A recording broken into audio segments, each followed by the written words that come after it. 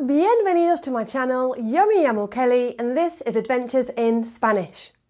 And with the Rugby World Cup going on at the moment, especially the game between Argentina and Gales coming up on Saturday, the quarter final, I thought some of you might appreciate a video, a quick lesson on some key phrases and vocab all around el mundo del rugby. ¿Listo? Vamos.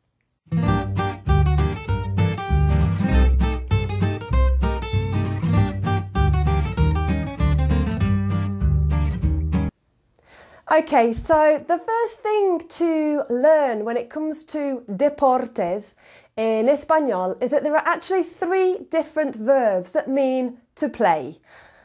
The first one is the a verb that we use when we're referring to playing a musical instrument, and that is tocar. Obviously, we don't need that one when we're talking about el rugby. The other one is practicar. We do use this when we're talking about sports, but only non-ball sport sports. okay, that's the verb practicar, so we're not using that one.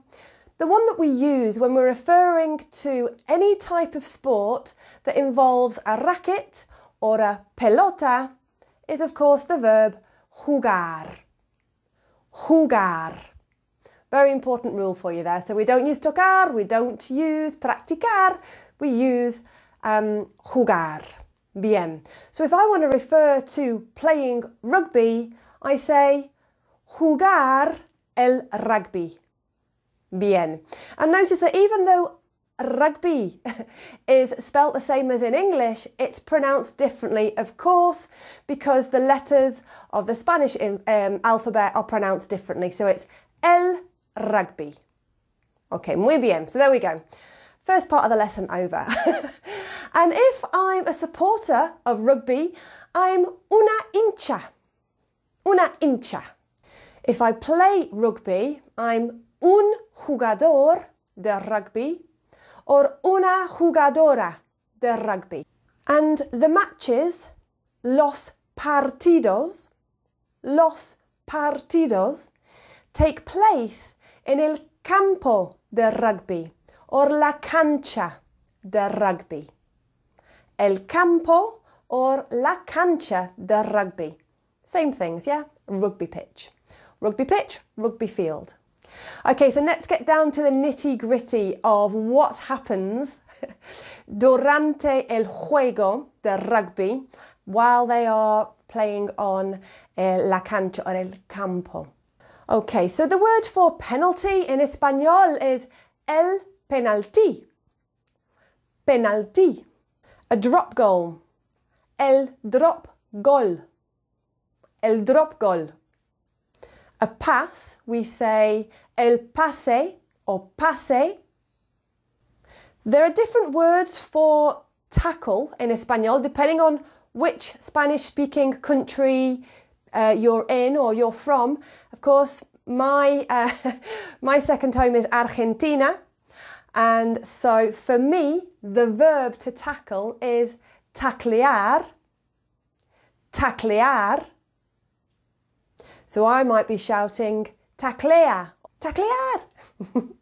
the word for scrum in Espanol is la melee, la melee. And a try, uh, again, there's a couple of different words for a try in Espanol.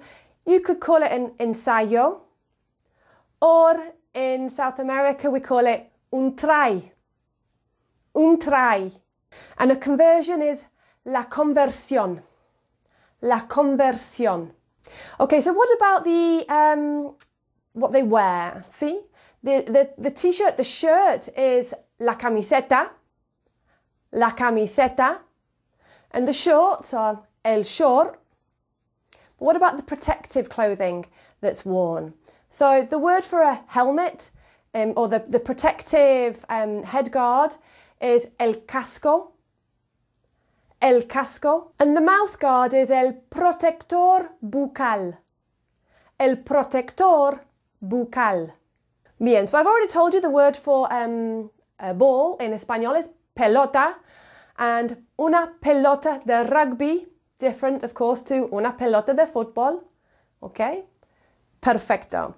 And on Saturday, el sábado, of course, it's el cuarto final, cuarto final entre Argentina y Gales.